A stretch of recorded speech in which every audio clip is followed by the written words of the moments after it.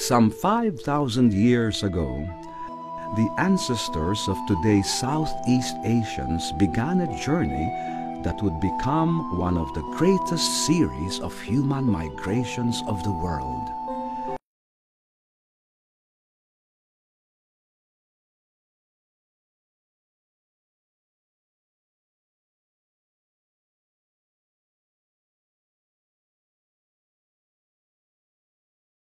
They came from what is now southern China, traveled south toward Taiwan, and then entered the Philippines through its northernmost edge, Batanes.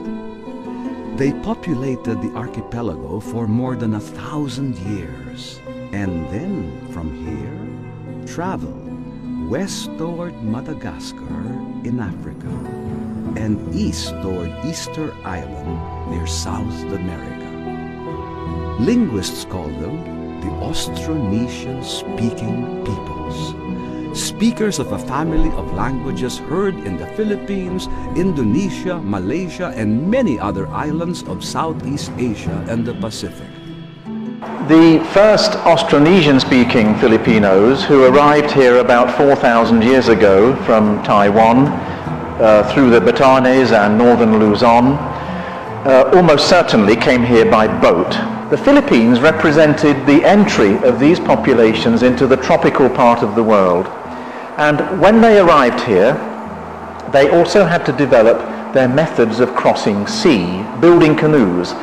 The Austronesian speaking peoples were also expert seafarers and boat builders the Austronesians developed the technology to navigate and cross the open seas to distant islands.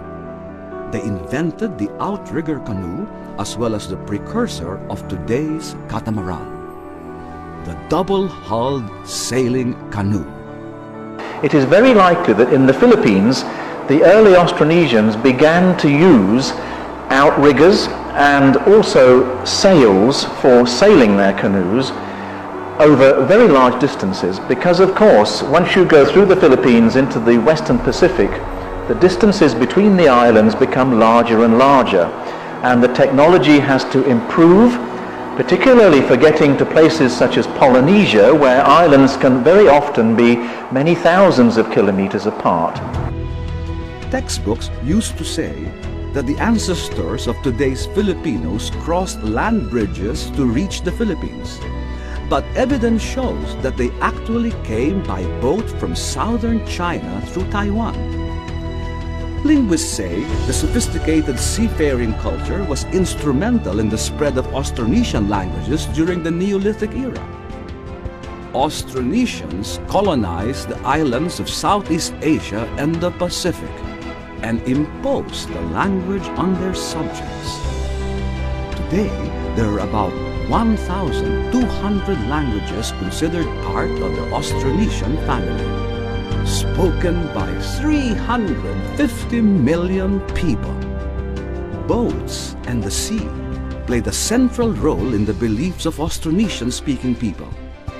A burial jar from the Neolithic era found in the Manunggul Cave in Palawan has for a cover the figure of a boatman transporting the dead to the afterlife. It shows how the sea dominated life and death. Austronesian-speaking peoples had their own belief system long before they learned about Hindu, Buddhist, Islamic, or Western thought. This common belief system showed even in their architecture. Traditional homes of Austronesian-speaking peoples reflect Southeast Asian concepts of the upper world, underworld, and the earthly realm. Filipino, Indonesian, and Malaysian houses had spaces below for animals, rooms in the middle for humans, and shrines for ancestor worship in lofts above. Speakers of Austronesian languages also share other cultural traits that indicate a common origin and history, evident despite the geographical distances. One of these is the weaving of cloth using the backstrap loom. where one end is tied to a tree or post and the other is strapped to the weaver's back. Weaving in this manner is believed to have been practiced by Austronesian ancestors. Colorful backstrap woven material are a common sight among indigenous communities in parts of the world populated by Austronesian-speaking peoples. Also a common cultural trait is the chewing of betel nut twigs, still practiced in parts of Southeast Asia. Among Austronesian-speaking peoples, there are common words for betel nut twigs, which are chewed with lime and result in the reddening of teeth. And we have been um, researching the ancestry of these people, uh, partly through the linguistic evidence, also through the archaeological evidence in the form of many of these objects here, stone adzes, bark cloth beaters, shell ornaments. Um, also, of course, genetic evidence about uh, the ancestry of the people themselves. So this is like a gigantic river running through time and space, and the Philippine population is a part of it. Uh, Filipinos belong with their neighbors as part of this Austronesian-speaking population with a shared prehistory during the last 5,000 years. Because they had boats and could travel, of course, they also carried out trade. They carried their ornaments and objects from one island to another. And we know that the early Austronesian-speaking Filipinos were bringing uh, nephrite jade artifacts from Taiwan and they were spreading them through the islands. These are things like uh, nephrite bracelets and earrings. Peter Bellwood led a team of archaeologists who found in Batanes what is believed to be a jade workshop that existed at least 3,000 years ago.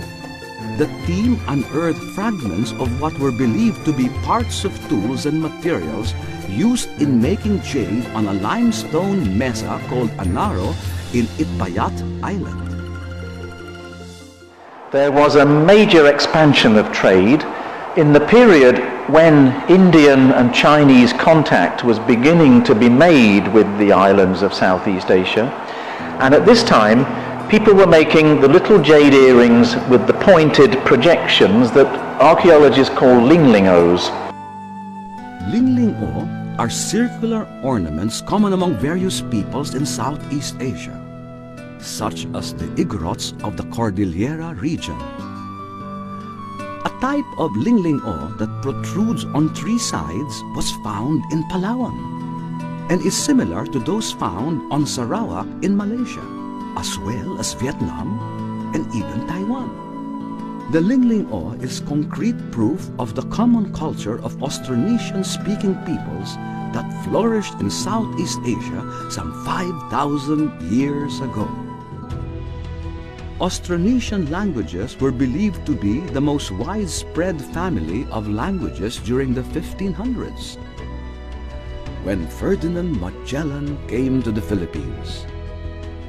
Today, hundreds of millions across the vast part of the globe speak a variation of an Austronesian language. Historians and archaeologists say that the Philippines played an important role in the spread of Austronesian languages. It also showed that culture and commerce prospered between the Philippines and its neighbors at least five millennia ago. I think the most important thing for Filipinos to understand is that they are part of a, a shared cultural heritage which is not just the Philippines but the peoples of Indonesia, of central Vietnam, Madagascar, which is off the east coast of Africa, uh, the native peoples of Taiwan to the north, and virtually all of the Pacific Islands. This heritage is very important because it means that many of the peoples of Southeast Asia share a common cultural and linguistic ancestry. And I hope that that knowledge will enable them all to understand each other much better in the years to come.